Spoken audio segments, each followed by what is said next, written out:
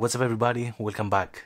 This is the first proper video in this new space and I can say that after a long time I feel really excited about doing some of these videos again on this channel.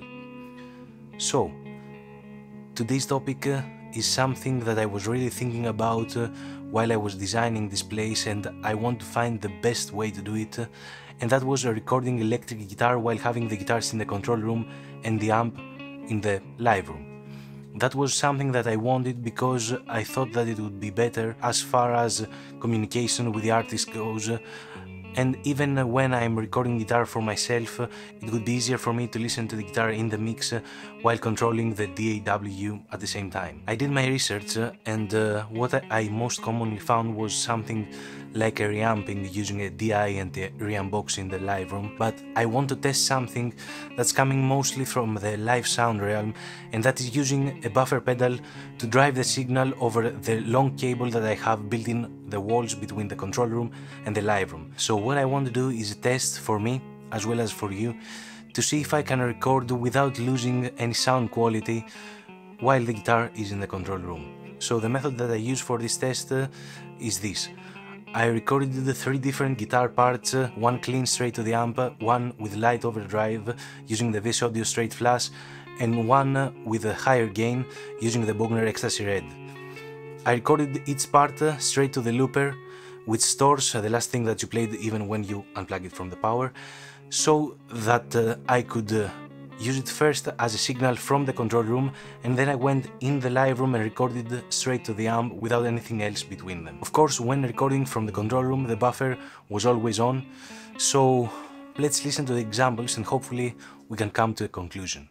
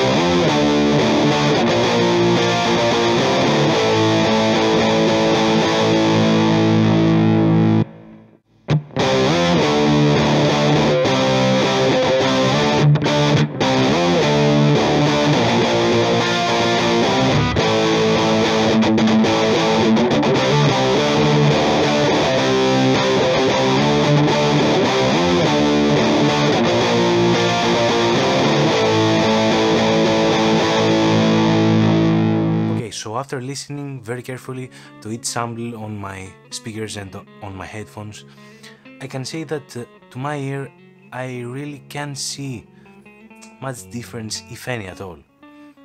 Now I don't know how these audio samples will uh, come through when the video is uploaded uh, and YouTube compresses it uh, and all the stuff. Uh, but I can say that for my use, uh, it's definitely something that I can use for now.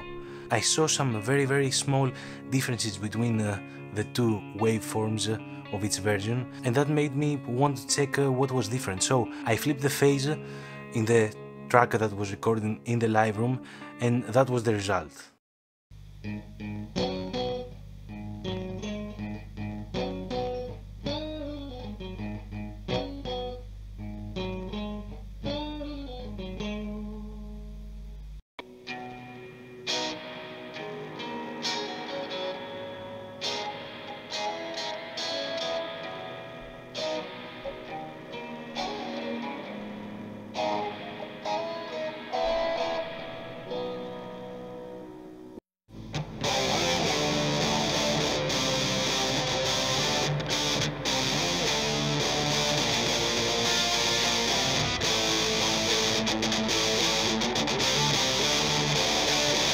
As you can see, something is missing or something is different.